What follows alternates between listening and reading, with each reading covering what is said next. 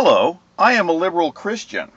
When I was growing up, I was constantly being reminded by my grandmother that God would punish me for my bad deeds. Mind you, I was never told by my parents that God would punish me. That's because they would just punish me themselves. Over time, I determined that God won't actually punish me for the little lapses in judgment that I would experience and continue to accrue. I and everybody else will be forgiven. I used to be angry at my grandmother for making me fear God for so much of my childhood. But I just realized something recently. My grandmother never punished me herself, at least not physically. I think that when she threatened me with God's vengeance, she was saying, I can't punish you, but God can.